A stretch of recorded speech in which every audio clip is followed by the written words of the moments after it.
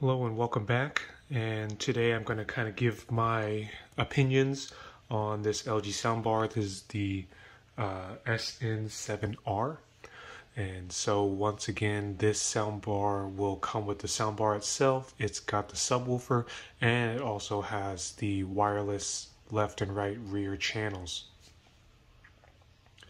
And so this is my TV right here. This is the uh, LG OLED TV.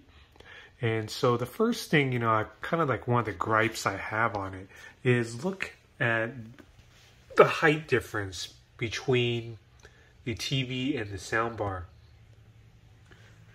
So you'll notice the actual soundbar is roughly like an inch, inch and a half taller than the uh, the bottom of the TV, and so that's pretty much cutting off some of those uh, part of the screen. So as you can see on the TV itself, you see that it has some icons on the bottom under HDMI 3 and HDMI 4 that is actually being cut off. And yeah, you may notice that I do have that. I temporarily have a uh, HDMI cable kind of under that sound bar but it is still cutting off that.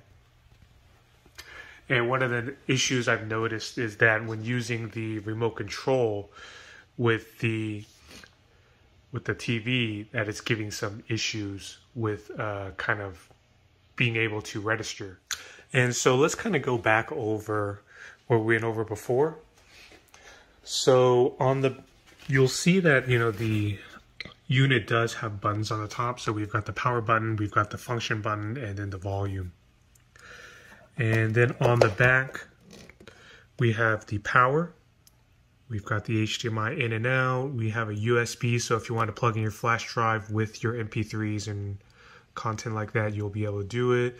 And we also have an optical cable, the TOS cable. And that is going into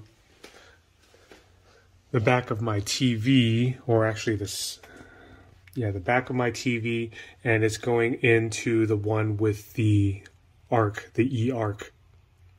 The reason that it's going into the one with the E-arc is because once I have it plugged into there, I can actually use my the remote control for my TV. And if I'm using the remote control for my TV, let's say I turn on my TV, it will also turn on the soundbar itself. And so likewise, if I'm turning off the TV, it turns off the soundbar. And so one of the other things I want to show you is going to be the remote control for the soundbar. So you'll notice that we have the we've got the power button, we've got the volume up and down, we've got the function, we've got mute, and then you know we have these buttons, which is used for like kind of multimedia controls. These sound effect buttons, that is so you can actually change uh, the DSP or the different sounds that you know you can get the soundbar to have. So you can have it in like a music mode or a movie mode, or it even has its own LG AI, which it will pretty much just um, give you what it feels is going to be the best sound for the content itself.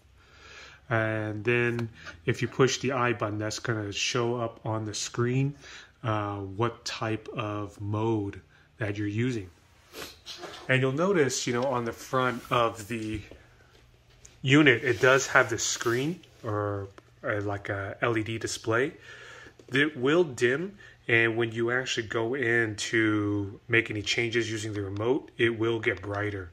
And then after a few seconds, it will actually dim out. One of the cons I kind of have is that even if it's dim in a dark room when I'm trying to watch a movie, it does really stand out.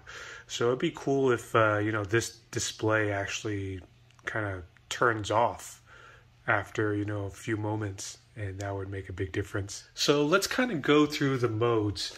So when you go into the unit itself, if you push the function button, here's what we have. So we have the OPT, which is for the optical. So that's uh, going to be using the TOS cable that's coming in the back.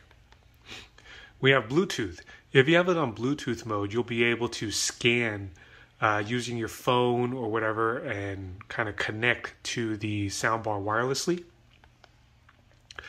And then LG TV is pretty much just using the HDMI to get access to, you know, the TV itself.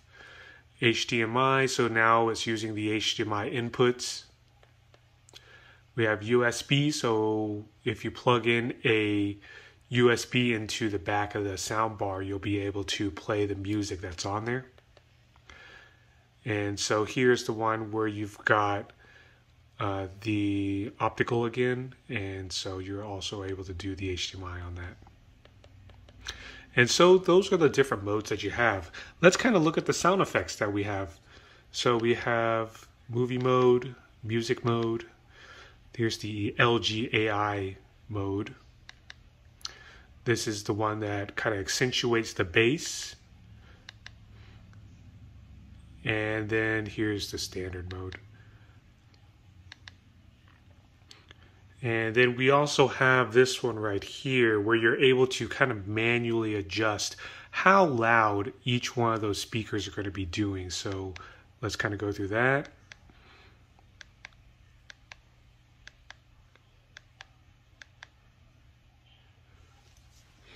And so those were the adjustment modes that we have for that.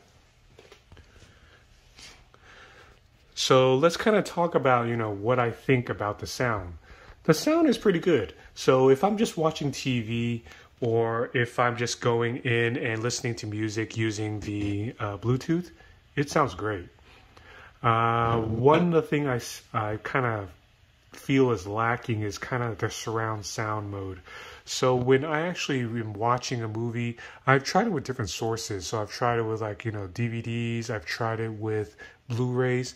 Uh, it does not have, you know, that great of a soundstage and you know kind of moving the sounds from one speaker to the other it's kind of lacking in that regards so if you're wanting to get a true, you know, kind of immersive sound, that it this won't really do it that well. So going with, if you're wanting that type of sound, I would still go with my regular hi-fi setup that I've got.